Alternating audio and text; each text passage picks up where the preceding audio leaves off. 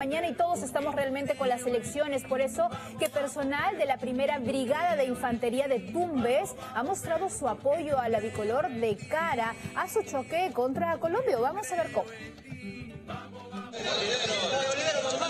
nuestra frontera norte, Tumbes, la primera brigada de infantería, guardianes de nuestra frontera, les deseo un rotundo éxito a nuestros